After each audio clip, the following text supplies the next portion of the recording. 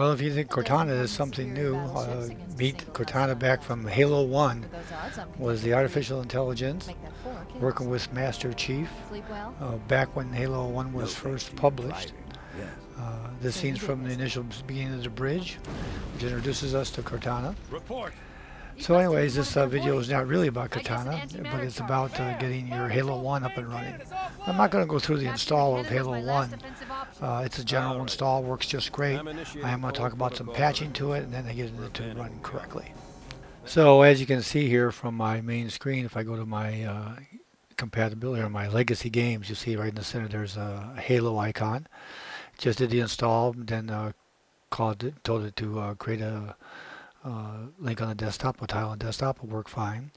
Now, if you're, you think you're having a compatibility uh, issue, you can always go out here to the, whatever you installed it. In my case, it's the uh, D drive with the games, and we go down here to Microsoft Games and Halo, and find the exe. But in my case, it didn't show up the compatibility tab, as we'll see here.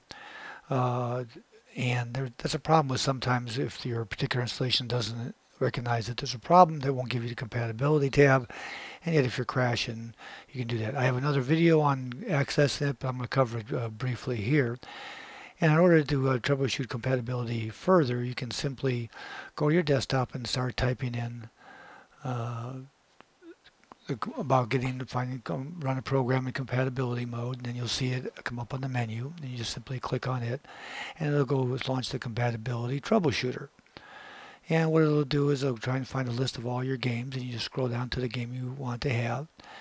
If it's not listed, by the way, you can say not listed, but if we go here to Halo, and then it would go in here and say, oh, what's the problem? I'm going to skip through this and not do that, but you would just go through a troubleshoot and it would try to create some settings that you would need to have to, in order for it to run. And again, it didn't have a problem with me, so you shouldn't have to worry about that. What I did find out though is that uh, I had when I ran the game, I had to put my CD in each time, uh, just to pain having to dig it out of my library. So I went and looked for uh, any patches. It's good could look for a patch for any game.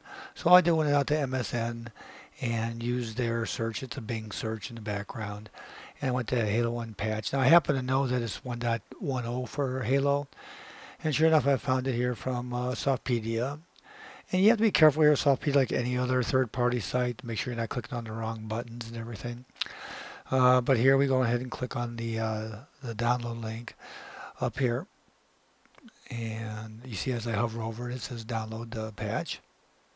And again, ignore a lot of the other stuff on the page. Over here, you'll see the secure download. And you can sit there and go click on that. It comes up.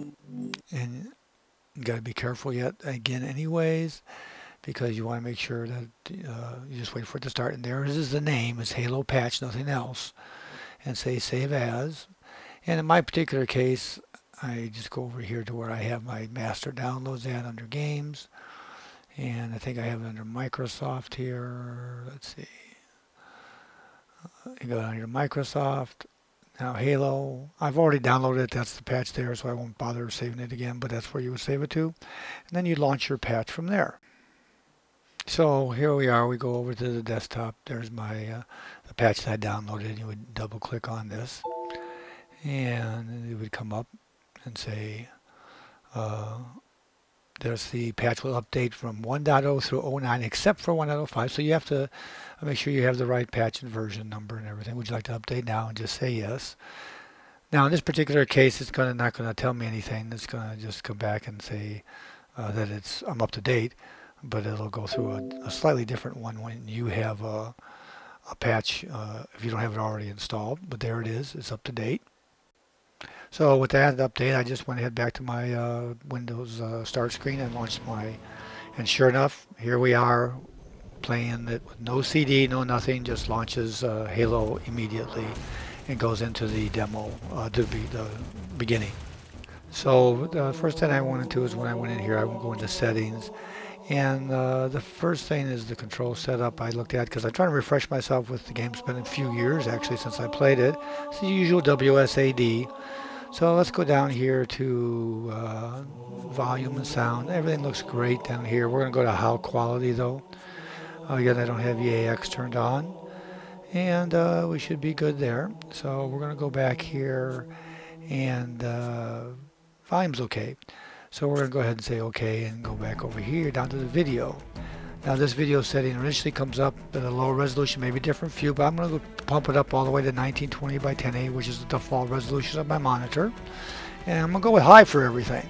So as uh, you would expect as I uh, go back in here, uh, video uh, settings are going to refresh and here we are back in after the after it's uh, changed into the higher resolution. Uh, don't worry about network setup. Uh, you can set up a player profile, so we're going to do that. And I'm going to put old guy, old, old guy geek in here, and say OK. Let's create a profile. You can have many profiles you want here. Uh, I'm just doing the normal uh, difficulty. You know, one of the first things I, I want to do is I'm going to, instead of going into campaign, I'm going to go take a look at multiplayer and you can do the internet. I used to be, still be able to do LAN, I suppose, between two two different places as long as you have your IP addresses. But I thought I'd check to see what servers are out there. So I click on Get List, and sure enough, there's still Halo 1 servers out there. It was amazing to find them after all these years. So what I did was is I went out to one that I thought that uh, I could play with. There's uh, somebody, eight people out there on the one one hit kill, uh, and uh, thought I'd uh, go try that. Now I haven't played Halo in a number of years, so I was a little uh, worried about getting out there. But as you can see here, you, if you select that particular one, you'll be able to see who's playing, uh, the rules, and uh, what's going on. So once you decide on the one you want, and if it's fast enough of a ping and you think you want to join the game, then you just simply, once you have it highlighted, you come down here and say join game. Now depending upon whether or not you have that map installed, you may have to download a map and everything to play. Uh, but here I am in the multiplayer game. Uh, automatically put me on a team. Uh, I won't tell you again how how many times I got killed right off the bat because I haven't played the game in years. So I decided to go out here and uh, go out here to, to the uh, settings and try and figure out uh, how to zoom with my sniper rifle. there's different categories of movement, keyboard, mouse, they have uh, different, uh, besides the, the category being movement, there's also weapons categories. Uh, so I had to go out there and figure out that out. There's combat. Uh, so uh, I had to relearn the game from scratch again, uh, which is fine.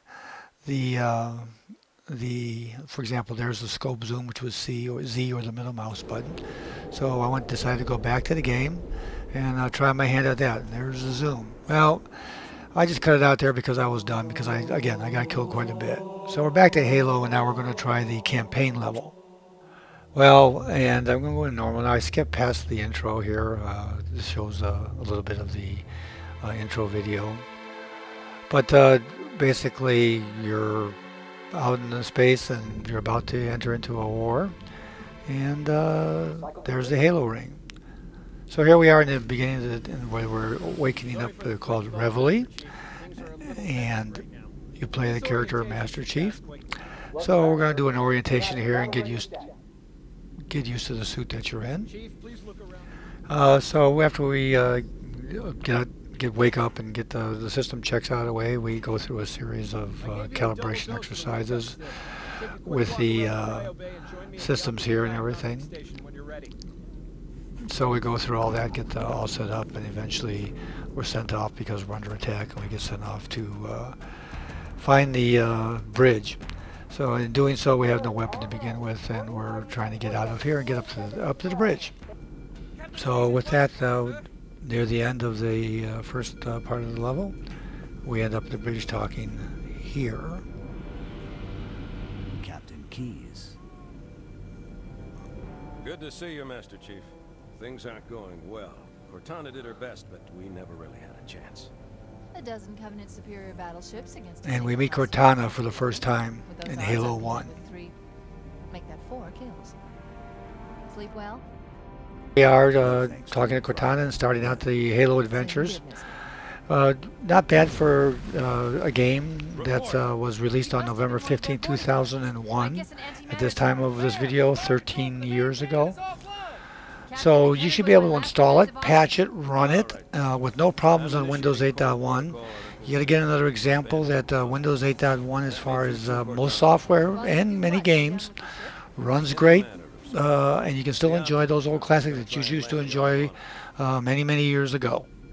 And uh, for those you want to see it, there's a little bit of a gameplay here uh, in the beginning. Still works great. Still can go after and kill a bunch of aliens. So again, have fun with uh, Halo 1 on uh, Windows 8.1. Hey, for more great tips from Old Guy Geek, don't forget to subscribe. Uh, share it with your friends on Facebook or Twitter. Uh, take a look at our playlist, Windows 8 playlist, Windows Phone 8 playlist, and a general how-to. And of course, our latest uh, feature video. And thanks for watching.